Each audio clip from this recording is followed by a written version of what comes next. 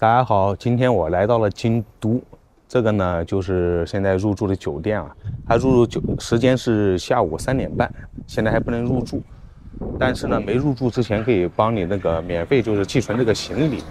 目前我对京都也不是很了解啊，我现在先去吃点饭，然后我来慢慢摸索一下，拍点视频给大家看。我很佩服能把车停成这样，是要来回移动很多下才停得进去啊。我吃那个。随便我随便我吃米饭在上面那个，然后我主要喝喝喝杯啤酒，啊，太热了。这是中午的便当，然后吃了要自己把牌子收起来，总共是一千三百多日元。京都这个地方感觉跟大阪完全是两个城市。我一路坐电车过来呢，就是看到这儿的房子啊，全都那种平房，基本上就像国内那种农村的房子啊，但这边好像是富人区啊。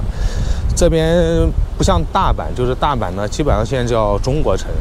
就是我这几天在大阪住呢，发现就是东北人非常多，就是在这边可能都已经是拿到居民身份了吧。现在离入住酒店还有一个小时，酒店就在鸭川河旁边。鸭川河呢，也是京都的一个景点，它的总长度有三十一公里。这条河水十分清澈啊，从古代起，居民已经住在河流两旁。在鸭川河等入住酒店时呢，我儿子跟两个日本当地小孩在一起玩耍。令我意外的是啊，本地小孩打水漂还礼让我儿子，让他先打，然后他们在后面排队。这点呢让我很意外。京都的房价，二零二零年统计数据平均是两千八百万日元，就是一百平方左右啊。房价最贵的地方是在他们的东山区，价格在四千二百万日元。据我来日本这几天啊，从大阪到京都来看，日本的旅游业是非常的发达。这不又走回来了？原先我认为只有大阪这种城市人多，但没想到啊，来到京都以后，我发现世界各地的游客也是非常的多。在京都呢，服务业占比很大呀，约占京都总产值的百分之二十四左右。这里的服务业呢，其实直接跟旅游是挂钩啊，餐饮、便利店。酒店的生意都是非常的火爆。如果在七月开始啊，不提前订酒店，可能会出现订不到酒店的情况。现在我入住的酒店呢，就有很多外地的日本人来京都旅游。在日本呢，众多初中生、高中生啊，选择京都作为休学旅行的目的地。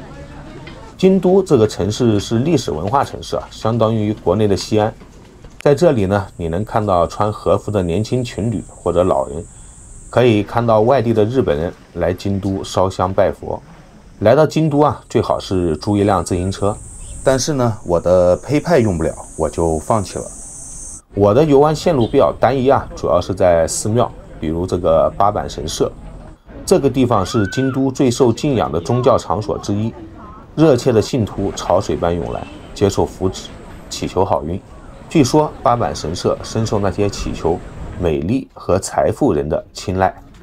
如果是晚上来这里啊，这里的灯笼也是一道风景。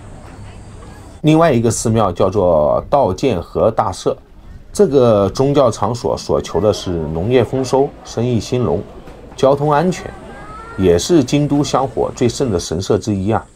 这个宗教场所外观其实跟八坂神社差不多。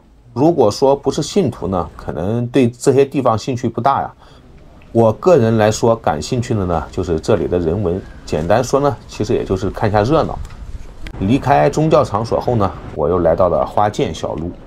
我才开始以为这个叫花间小路啊，最后我仔细查了，是叫花见小路。在前往的路上发现一个本地活动，但是我不知道这个活动是代表着什么意思啊。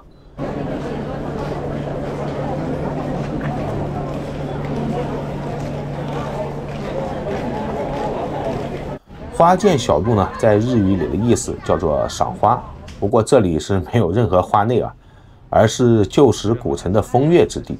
花见小路由北到南长约一公里啊。当你穿过车水马龙的四条通，踏进石板铺砌而成的花见小路，就能看见一间间门面精巧、挡有垂帘的茶屋呀、居酒屋等。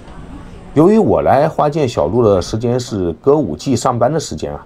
路上偶尔还能看到一些准备去工作的歌舞伎。